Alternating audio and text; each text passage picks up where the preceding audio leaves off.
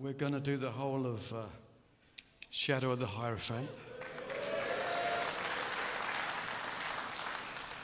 And of course, we've got the lovely Amanda to come and uh, bring it alive for us.